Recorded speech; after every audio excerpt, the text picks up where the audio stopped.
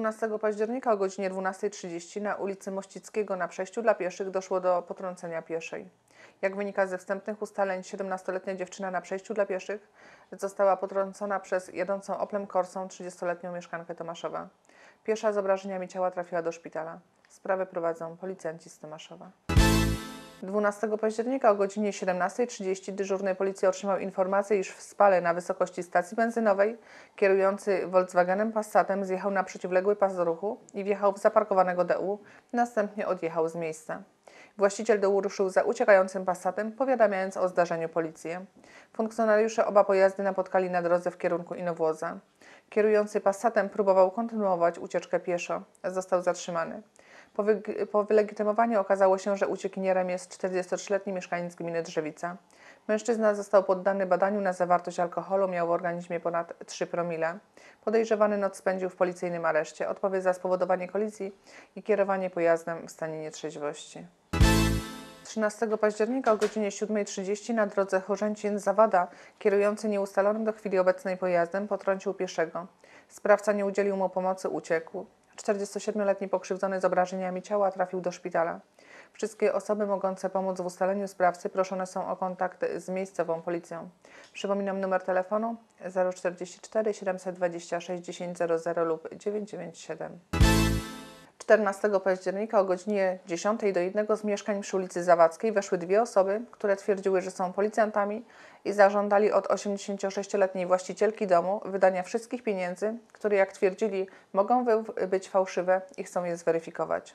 Kiedy gospodyni odmówiło wykonania polecenia, kobieta przedstawiająca się jako funkcjonariuszka wyrzuciła z szafy rzeczy, twierdząc, że robi rewizję. Złodziejka odnalazła oszczędności seniorki. Towarzyszący jej mężczyzna oznajmił, że pieniądze są fałszywe i zabierają je do komendy policji. Fałszywi policjanci szybko ulotnili się razem z oszczędnościami 86-latki.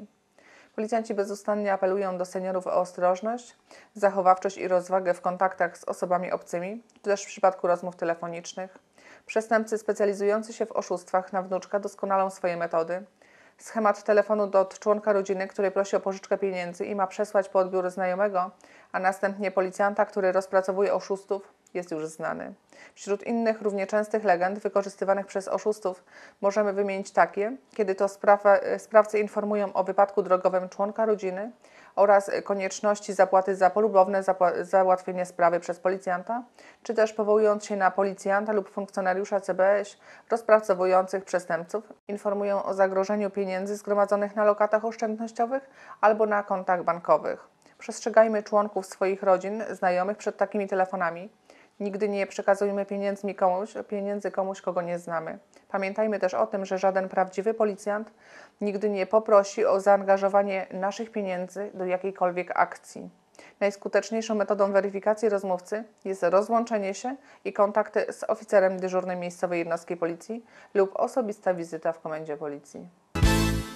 15 października o godzinie 14.50 dyżurny policji otrzymał informację, iż w kościele w Rożkowej Woli sprawca wybił szybę, wszedł do środka, ukradł butelkę szalnego wina o wartości 20 zł, następnie zniszczył dwie puszki na zbiórkę pieniędzy i ukradł znajdujące się w nich datki około 10 zł. Wartość uszkodzonych przez sprawcę drzwi, okien i puszek została oszacowana na kwotę 900 zł.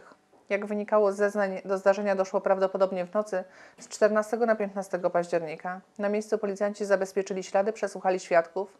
Policjanci z Czerniewic, dokonując analizy podobnych zdarzeń, skojarzyli kradzież dokonaną w roku 2015 w jednym z kościołów Rzeczycy, a wcześniej w Rawie Mazowieckiej, którego sprawcą okazał się mieszkaniec gminy Rzeczyca.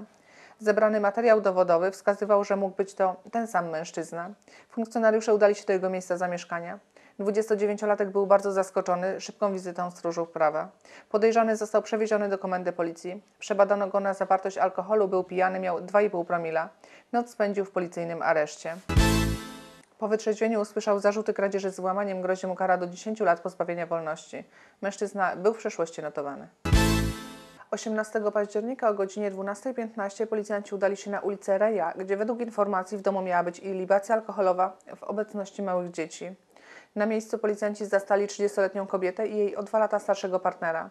Obecna była również piątka małych dzieci. Para została przebadana na zawartość alkoholu. Kobieta miała 1,4 promila, a ojciec dzieci 4 promile. Jak ustalili policjanci, gospodarze, dziećmi gospodarzy były dwie dziewczynki w wieku 3,5 lat. Pozostałe maluchy w wieku 2, 7 i 8 lat były dziećmi ich znajomych. Na miejsce dotarła 33-letnia matka pozostałej trójki dzieci. Kobieta została przebadana na zawartość alkoholu. Alkotest wykazał u niej 0,7 promila. Do czasu wytrzeźwienia pijanych rodziców nieletnimi zaopiekowała się trzeźwa sąsiadka. Tego samego dnia o godzinie 20.10 policjanci udali się na ulicę Halera, gdzie według informacji dzieckiem miał opiekować się pijany ojciec. Na miejscu policjanci zastali 43-letniego mężczyznę i jego 11-letniego syna. Mężczyzna został przebadany na zawartość alkoholu, miał prawie 2 promile. Dziecko zostało pod opiekę, oddane pod opiekę matce. O dalszym losie tych rodzin zdecyduje sąd rodzinny. 17 października o godzinie 10.40 do dyżurnego policji zadzwoniła kobieta z informacją, że na ulicy Świętego Antoniego kierujący de Ulanosem jedzie całą szerokością jezdni, stwarzając zagrożenie dla innych użytkowników ruchu drogowego. Zgłaszająca jechała za piratem drogowym. Dojechali do Tresty. Kierowca uciekł do jednej z posesji, a zaraz za nim weszli policjanci. 36-letni mieszkaniec Tomaszowa został zbadany na zawartość alkoholu. Wydmuchał prawie 2 promile. Mężczyzna noc spędził w policyjnym areszcie. Za kierowanie pojazdem w stanie trzeźwości grozi kara do dwóch lat więzienia. 17 października o godzinie 14.25 w Rokicinach doszło do wypadku drogowego.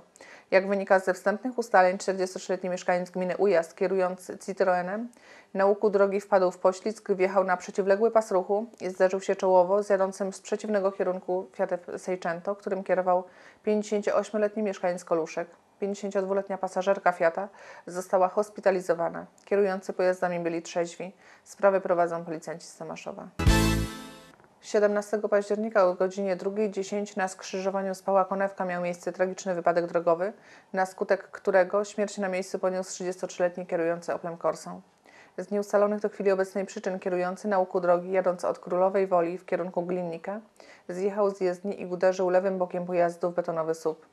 Kierującego nie udało się uratować, poniósł śmierć na miejscu. Kiedy temperatura na zewnątrz gwałtownie spada i zbliżona do zera, nie zapominajmy, że są osoby, które mogą potrzebować naszej pomocy. Nie bądźmy obojętni i alarmujmy policję za każdym razem, kiedy ktoś jest narażony na wychłodzenie organizmu. Wystarczy jeden telefon, aby uratować komuś życie. Chciałabym przypomnieć, iż od 31 sierpnia 2014 roku każdy pieszy, który porusza się po zmierzchu po drodze poza obszarem zabudowanym, musi mieć odblask umieszczony w sposób widoczny dla kierujących. Za brak elementu odblaskowego grozi mandat. Ponadto może uchronić nasze życie.